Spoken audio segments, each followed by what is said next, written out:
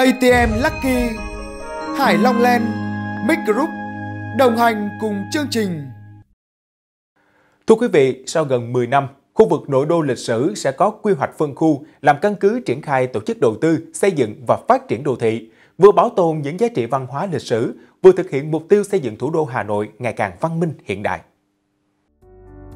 Theo Cổng Thông tin Điện tử Hà Nội, vào chiều 25 tháng 2, Thường trực Thành ủy Hà Nội đã thống nhất về chủ trương đối với 6 đề án quy hoạch phân khu 1 trên 2 ngàn, nội đô lịch sử, bao phủ 4 quận, Hoàng Kiếm, Ba Đình, Đống Đa, Hai Bà Trưng.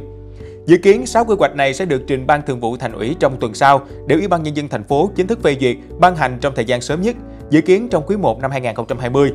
Cùng với đó, Thường trực Thành ủy Hà Nội cũng nghe báo cáo về quy hoạch phân khu sông Hồng và góp ý các chủ trương định hướng lớn vào bản dự thảo quy hoạch. Hiện quy hoạch phân khu sông Hồng đã có bước tiến lớn sau thời gian dài lâm vào bế tắc vì vướng quy hoạch thoát lũ. Ủy ban nhân dân thành phố Hà Nội cũng đã có văn bản của Bộ Xây dựng, Bộ Văn hóa Thể thao và Du lịch thống nhất về các nội dung có liên quan đến lĩnh vực quản lý của các bộ như về tiêu chuẩn, quy chuẩn, chiều cao công trình, khu vực phố cổ, phố cũ, hồ gươm và các vùng phụ cận.